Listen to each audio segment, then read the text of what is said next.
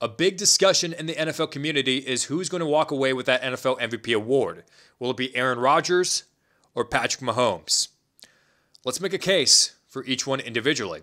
Aaron Rodgers, 3,600 yards passing, 39 passing touchdowns, which, by the way, that 39 passing touchdowns is more than how many punts J.K. Scott has punted for the Green Bay Packers. So the Packers have more passing touchdowns than J.K. Scott has punts. Thank you, Bennett Nygaard, for that little nugget. Four interceptions, 69. Po- nice. 69.6% of his passes completed, 119.7 quarterback rating. That's on pace for 4,500 yards passing and 48 passing touchdowns to five interceptions. Just process process that for a bit. 48 passing touchdowns to five interceptions. That's better than an 8 to 1 touchdown to interception ratio. That's incredible. But let's make the case for Patrick Mahomes. Let's not get ahead of ourselves. 4,200 yards passing, 33 passing touchdowns, five interceptions, 68, not so nice, 68.4% of his passes completed, 112.3 quarterback rating. That's on pace for 5,100 yards passing, 41 touchdowns, six interceptions. So, looking at the stats alone, who's the favorite? I mean, it's it doesn't take a, a, a, smart man to realize that right now, statistically, it's Aaron Rodgers. Now, I'm not saying he's a favorite right now for MVP, but I'm saying statistically, he's having a better season than Patrick Mahomes. That's just how it is. But both are having really good seasons with their respective teams. But I believe it should be personally, Aaron Rodgers should walk away with that NFL MVP award. I mean, statistically, we already just read off the stats to you guys. That's why it just makes sense for Aaron Rodgers to win the award. But a lot of people are going to make the argument well, hey, it's the most valuable player. It's about who is the most valuable to their team. That, that's who should win the NFL MVP. The only thing about that, about that argument about who is the most valuable, is that there is no level of consistency with that argument.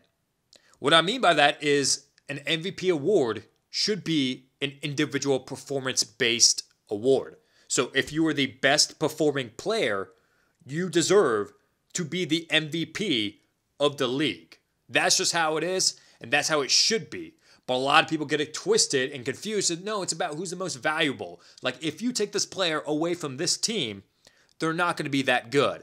First off, to argue that, you don't really know that. Unless that player got hurt earlier in the season, then you and you saw that the team suffered without them, you can't really make a judgment call on is this team really that good without them?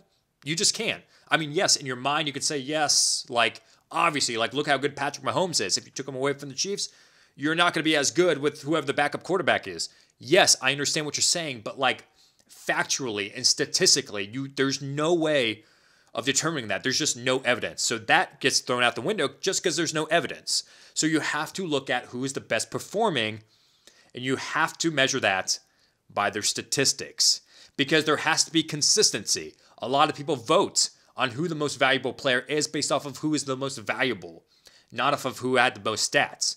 Because in 2014, speaking of Aaron Rodgers, if you remember when Aaron Rodgers won that MVP award over JJ Watt, which was the biggest upset in MVP and NFL MVP history, it should have been JJ Watt.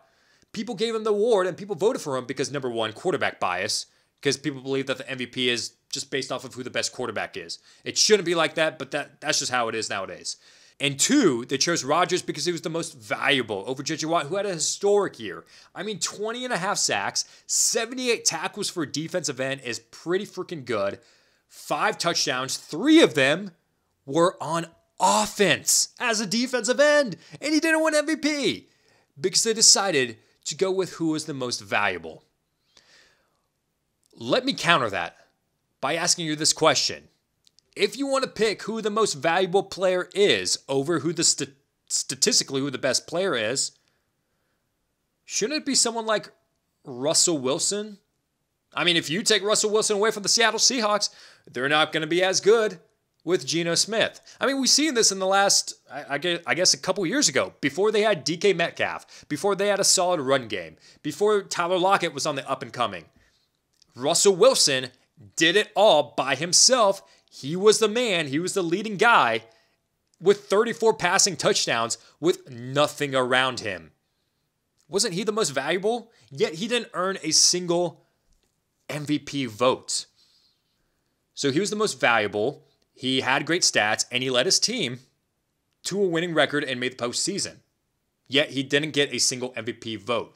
You see where I'm getting at? There's just too many inconsistencies with the MVP voting. Do you vote for the most valuable, like you did with Aaron Rodgers over JJ Watt, who had the better stats? Or do you go with someone who has better stats over someone like Russell Wilson, who was the most valuable to their team that season? I personally believe that MVP is an individual award. Who balled out individually? Take team success away. And you have to award it to the guy who had the best statistics, the best player, the best performances.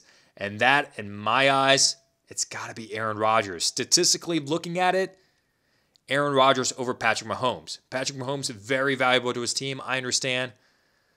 But if, if this is an individual award, it's got to be Aaron Rodgers.